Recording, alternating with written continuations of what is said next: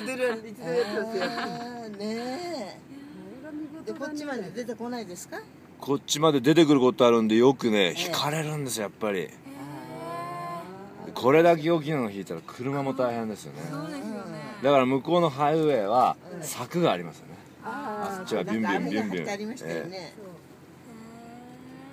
ー、で角の大きさもこれあと1.5倍になりますね、えー、すごい勢いで伸びてるんです。これ春になって一回ポロって角落ちてまた生えてる途中ですから。ー、ちょうど真ん前でねすごいね。1ヶ月ぐらいでこんなに。そう1ヶ月ぐらいでこんなに伸びて。すごいねこれ